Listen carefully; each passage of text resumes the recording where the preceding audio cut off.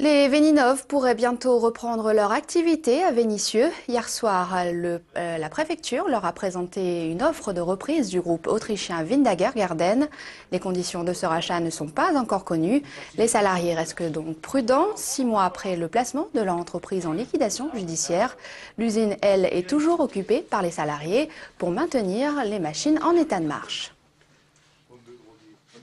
On est quand même réservé, on ne connaît pas ce projet exactement.